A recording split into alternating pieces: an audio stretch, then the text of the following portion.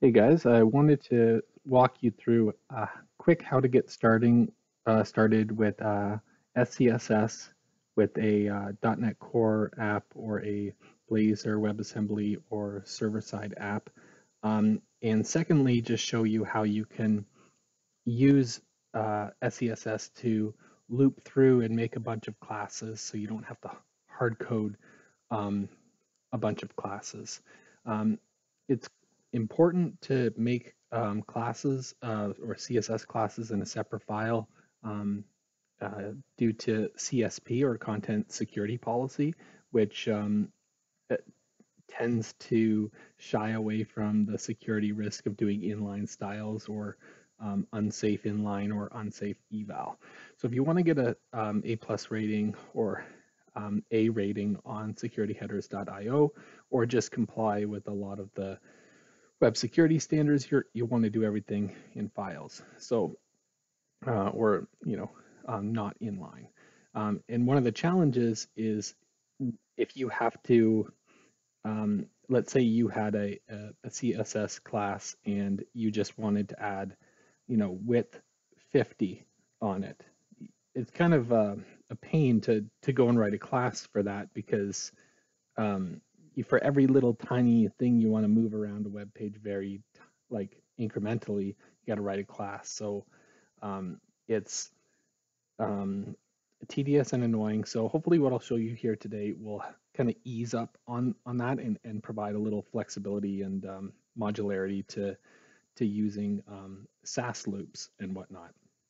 So I have just a uh, .NET Core Blazor um, server-side application, just a boilerplate from .NET Core uh, 3.1.3. Um, and I have Web Essentials uh, 2019 installed. Um, so other than that, fairly vanilla setup. So what I'm going to do is add my first uh, Sass file. So go into triple W root. Um, just give a new folder. And this is a feature of um, um, Web Essentials 2019 is add an empty file, which I find is useful. You don't have to go through the um, add new file menu and search for the one you're looking for. At the end of the day, you just need something with an extension created, right? So I'm going to go add um, new empty file. This is the uh, Web Essentials 20, 2019 thing. So I'm going to say site .scss. And um, I believe if I just do my class width, let me just see if this is compiling right out the gate. If I click save, nope. So what you can do with the Web Essentials um, 2019 2017 as well. You can right click web compiler and go to um, compile file. And it adds a couple files here to know how to hook it up. And you'll see that like this is generated and this is the minified file is generated. But now if I, let's say close all but this, and I'll just change this to 150 and look down here when I click save, this is compiling, and if we go into the different levels, 150 and 150. So pretty handy um, for compilation. So first thing we want to do here is go into the main uh, layout. And actually, no, it's the one higher, which is, nope,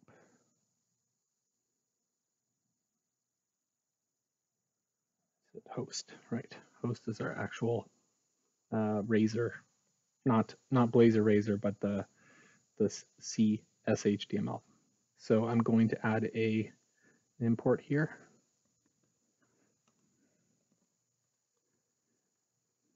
And in in in uh, in .NET Core applications, some other applications, you can use the uh, the tilde, which will map to the root um, while you're while you're writing your code, and then at runtime or compile time will actually find the right path. So it ends up writing like this. Um, but yeah, so I can write it like this. I'll go this.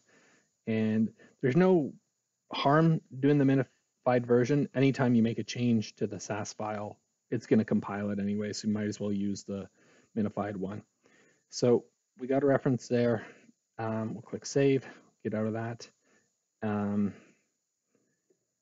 and right now, doesn't do much. We got one thing called my class. So let's get rid of that. I have um, code on the clipboard here, and I'll walk you through what, you know, how, how, how you can create loops and, and how easy it is to make these things, right? So um, I'm saying that the, the, the, the, the number of times I want to loop through this max pixel is I'm going to loop from um, from this variable from one through to the max. So it's going to run 10 times. In here, it creates a variable. So it takes that one up, uh, up here, which is the, the iterator, and then times it by 100. So if it's going to start from one, it's going to be um, 100, 2 times 100, 200, and so on and so forth. So let's just say we're on loop increment number five. This is going to say five. This variable here is going to be 500. It's going to do this 10 times, and it will make some classes here. And when you see the the hashtag and curly curly, that's string interpolation in in Sass. Um, so it's saying make app min h dash the number it is. So it's going to make dash 100, dash 200, and whatnot. So the point of this is you don't necessarily want to make all of these max width classes, min width classes, but you would have to write them all by hand and whatnot. But this is just a quick loop um, um, using a mixin. And then you just have to write this line down here that says include, which essentially runs the mixin. Um, so this is using a for loop uh, with a variable up here at counter, and it's going to make these classes. So if I run this, I'll just click save. It says compiling. So let's look at what I actually got created. This is such a time saver. Look at this. This is uh, 120 lines of code. Um, so it's saying, you know, app max width 1,000. And, it, and you see what it did, max width 1,000. We just go back there. I didn't spend too much time on it there, but I did the name. But so max width, um, so app max width dash, you know, let's say a 1,000. And then it just takes the interpolated part of that, so the string of it, and then adds px on the end. So very good time saving. And now, since you have this, we can close these, and that was just writing a simple loop to make a bunch of classes. Um, and if we go back to, let's say, our host file, um, let's say, for example, I want to add a, let's just, actually, let's, um, let's, let's just add a, a div down here. We're going to say um, class, and this has boot, like the standard .NET Core templates have Bootstrap 4 built in, so you should be able to access some of those classes. I'm to say bg, let's say um, info, and now we're going to say max, sorry, min, sorry, app. See, look at all these classes now, right? App min height uh, let's say 200. I'll say app um, min width. Uh, let's just say this. And hi, I'll put an H1 in it. Hi. Okay, so let's save that. Go ahead and run it. And like I said, the point of the CSP and content security policy is to try to eliminate inline styles and have it all in a um, a a file, right?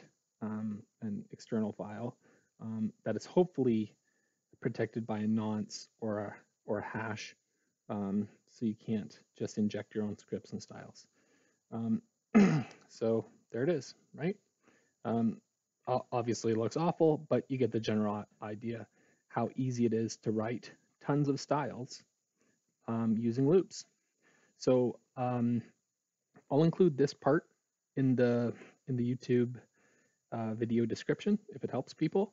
Um, and if anyone has any other suggestions for any obscure parts of um, .NET or Microsoft or web development, Xamarin, Blazor, WebAssembly that they'd like to see more videos on, um, please leave a comment um, and it'd be great. Thanks.